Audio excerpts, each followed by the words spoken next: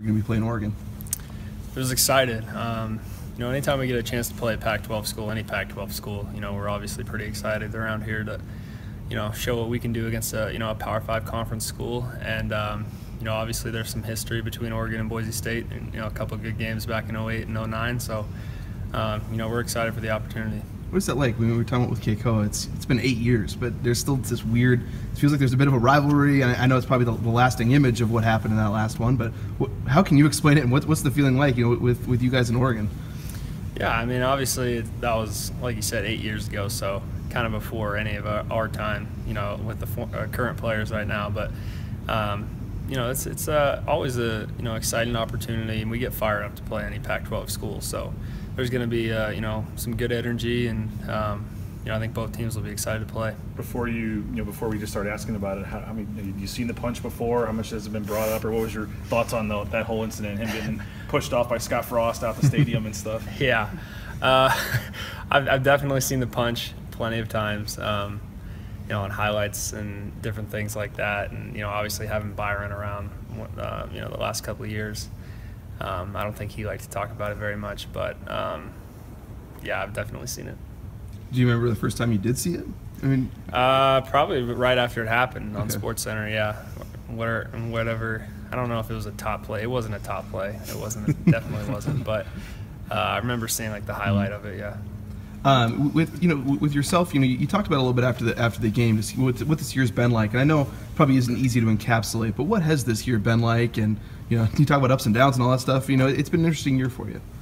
Yeah, it has. Um, you know I'm just thankful to you know finally be a champion, and um, you know there's like I said before, there's really no better feeling than that, and um, you know I can honestly say this has been my most successful year so far, and um, you know, I'm looking to finish it strong with a uh, you know a Vegas Bowl win would be awesome. You said it, you know, hasn't maybe been the most productive, certainly, you know, certainly, but and, and you, seem, you seem to you know kind of put that on your shoulders. But I know it's, there's been whether it's changing this, you know, this, you know, the quarterbacks around or the offensive line wasn't settled. But you know, how much do you put that on your shoulders? It seems like I don't know that that you were critical of yourself a little bit out there Saturday. Yeah, no, I think uh, you know I'm always pretty critical of myself. Um, you know, I think I've been, I think I've definitely been productive. I don't think I've, you know, like I said, you know, with splitting time with, uh, you know, Montell has been a blessing in disguise for me. Um, you know, I've learned a lot from him, and um, you know, we, I think we've worked very well together this year. But I, I don't think I've had, you know, this like the same, you know, amount of reps as I did last year, mm-hmm. different things like that. So, um, but at the end of the day, you know, when you're a champion, and anything that just feels way better than, you know, anything I could do statistically. After the game, I was talking to Wolpin. He's like literally wiping tears away from his eyes. I mean, you think about, you know, Ryan and, and you know what he's been through, walk on and all that transfer and coming here, and then you know maybe scores the, the biggest well, the biggest touchdown of the season. I mean, there at the end of the game uh, in his career, probably. What how cool I guess was it for, for him for that moment, and you guys may need him here, you know, on next Saturday. Yeah, no, it was awesome for him. You know, he's been our hardest worker, I think.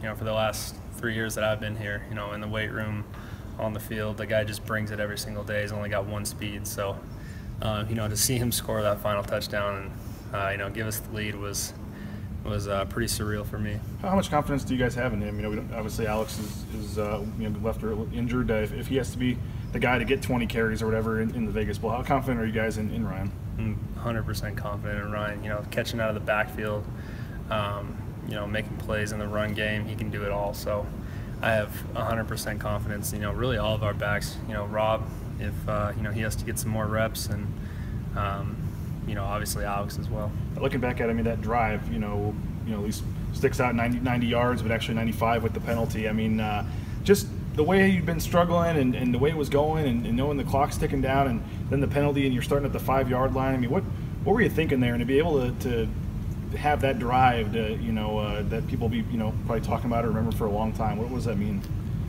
Just got to keep battling.